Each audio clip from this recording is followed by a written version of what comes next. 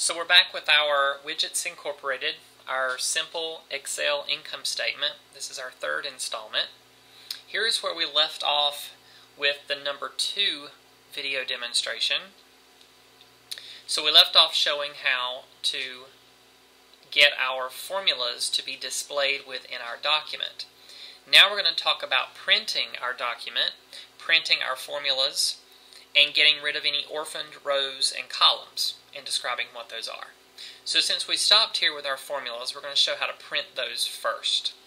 So you would go up to File, click Print. It will bring up your Print dialog box. I always recommend that we preview our document prior to printing it. If you can see in this little quick preview, and right down below it, this is going to print on three pages. We definitely do not want that. You usually want a financial statement to print on one page if possible. If it's readable, printing it on one page, then that would be optimal. This being a formula sheet, not as detrimental that it goes on one page, but still if it, if it can be read on one page, that's what we want to do. So we want to go to page setup and tweak some things. So I'm first going to assume that it will all fit on one page and still be readable. So my scaling, I'm going to fit one page wide by one page tall. And because my income statement is wider than it is tall, I think it's appropriate to change the orientation of the page in this instance. So I'm going to change from portrait to landscape, and then I'm going to click OK. Then I'm going to take another look at it. And I really can't tell if it's readable by the quick preview. So I'm going to preview it in a larger version by clicking on the preview button. And that will bring up the preview. And it is certainly readable. So if I can enlarge that for you, it is certainly readable. So I can print it in that format. Now let's go back to our original version of our income statement. So I want to get rid of these formulas.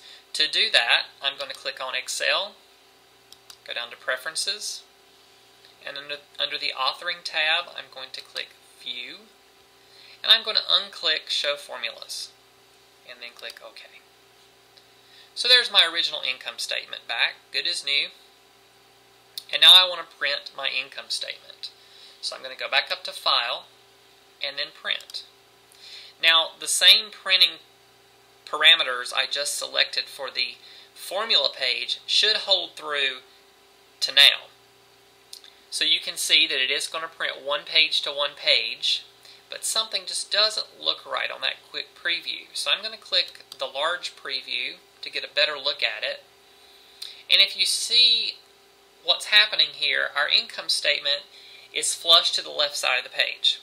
We don't really want that. That doesn't look very professional. We want it to be centered on our page. So to do that, you're going to go back up to File, Page Setup, and this time we're going to click on our Margins tab. And then down at the bottom of this box, you're going to see Center on the Page. I'm going to center, horizontally, and then it shows you here in this little diagram what that will look like. In some cases, you may find it beneficial to center vertically, but because my statement is so small, I'm not going to do that because I think it will look kind of odd to do that in this instance. And then click OK. Then go back up to File, click Print,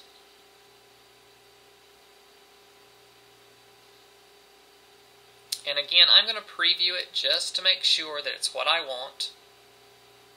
And now you can see it's centered on the page horizontally and ready to be printed.